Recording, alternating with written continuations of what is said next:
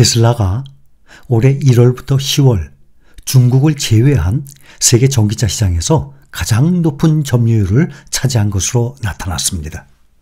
올해 상반기 중국을 제외한 세계 80개국에서 등록된 전기차 수가 총 453만 6천 대, 작년에는 324만 4천 대였습니다. 작년 324만 4천 대 대비 현재 453만 6천 대, 40% 가까이 성장을 했습니다. 다른 분야는 몰라도 특히 전기차 시장만큼은 중국의 시장이 전 세계 전기차 시장의 60% 가까이 되기 때문에 한 국가가 차지하고 있는 시장의 규모 자체가 너무나 커서 전기차 시장만큼은 중국을 제외한 자료들이 이렇게 전 세계 전체 일대와 함께 나오고 있습니다. 그래서 중국을 제외한 배터리 생산량, 판매량, 중국을 제외한 전기차 시장 규모 이런 게 나오고 있습니다. 충전 인프라 부족 등으로 전기차 판매량이 크게 위축되고 있다는 일부 국내 언론 보도하는 딴판의 결과입니다. 2017년부터 지난해까지 연평균 성장률이 61.3%에 달합니다. 어떤 분야든지 연평균 성장률이 61.3%? 이렇게 고성장을 하고 있는 그런 섹터가 없어요. 앞으로 전기차 시대가 올 것이라는 이 예상.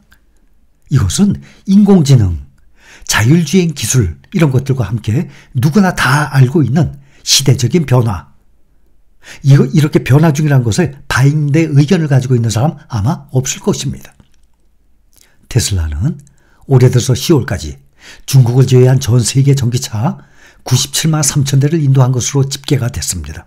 이것은 전년 동기 대비 49.4% 증가, 약 50% 가까이 증가한 규모예요. 올해 1월부터 10월까지 시장 점유율 1위를 차지했습니다. 점유율은 2020년 1월부터 10월 20.1%, 23년도 올해는 1월부터 10월이 21.4%로 조금 더 어, 확대됐습니다. 보스바겐, 아우디 이런 어, 보스바겐 그룹 전년 동기 대비 44만 4천 대. 그래서 어, 38.7% 증가한 61만 6천 대를 판매했어요. 작년에가 44만 4천 대, 올해는 61만 6천 대. 그러면서 점유율 13.6%로 2위 자리에 올랐습니다. 테슬라가 97만 3천 대, 보스바겐이 61만 6천 대, 테슬라와 폭스바겐의 이 점유율이 각각 21.4%, 13.6%, 1등, 2등입니다. 그 다음에 어, 같은 기간에 후조, 지프, 피아트 등에 이 속한 스텔란티스 그룹이 27.3% 증가한 47만 7천 대 판매량으로 3위, 점유율이 10.5%를 기록했습니다. 4위가 우리나라의 현대차 기아예요. 전년 동기 대비 11.1% 증가한 47만 대를 판매했습니다. 5위는 BMW.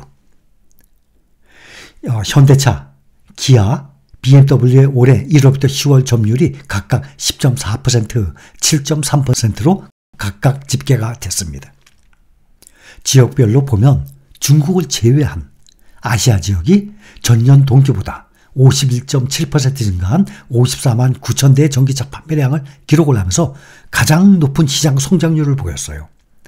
그러니까 판매량이 아니라 시장 성장률, 작년 대비 시장이 얼마큼 성장했는지 그걸 보면 아시아 지역이 전년 동기보다 51.7% 가장 높은 성장률을 보이는 게 아시아예요. 같은 기간 북미 지역은 51.1%, 유럽 지역은 30.1% 증가했어요. 현재 전기차, 세계 전기차 시장은 중국이 주도하고 있다고 해도 과언이 아니에요. 전 세계 반 이상이니까. 2022년 작년만 해도 전 세계 전기차 판매량의 53%를 중국이 차지하면서 세계 최대 전기차 시장으로 자리를 잡았는데 23년 올해는 아직 12월 말까지 집계는 안 나왔지만 60% 가까워요. 점점 더 올라가고 있습니다. 그리고 중국의 올해 자동차 수출이 500만 대로 일본을 제치고 세계 1위를 차지할 것으로 보이고 있습니다. 이 중에 전기차 비중이 약 40%대에 달할 정도로 전기차의 약진이 두드러진 것입니다. 전기차가 아니라면 내연기가자라면 중국산 자동차 있을 수가 없는 것이죠. 전기차이기 때문에 말이죠. 그런데 중국의 통신 장비 업체 화웨이, 전기차 충전 시장 진출을 선언했습니다. 화웨이 그룹 산하의 화웨이 디지털 에너지 유한공사의 허우진룽 회장이 내년에 중국 340여 개 도시에 도시가 340여 개 어마어마하죠? 이 도시에 10만 개 이상의 초고속 충전기를 설치할 것이라고 밝혔습니다. 허우진용 회장은 길이 있는 곳이면 어디서든 고품질 충전이 이루어지도록 하겠다라고 말을 했습니다. 탄소 중립은 이제 글로벌 인식 공유에서 구체적인 실천으로 전환을 하면서 교통망의 전동화가 탄소 중립 목표 실현의 핵심 영역이라고 했습니다. 이 불편한 충전, 전기차의 가장 큰 문제입니다. 지금 이 충전이 취약하죠? 낮은 가성비가 신에너지차 선택을 주저하게 만드는 주요 요인입니다. 그래서 고속 충전기가 도시의 반경 1, 2km 이내마다 들어서고 모든 고속도로 휴게소와 주유소에 설치되면 전기차 시장의 확대에 가장 큰 걸림돌인 충전 문제를 해소할 수 있을 것이라고 말을 했습니다.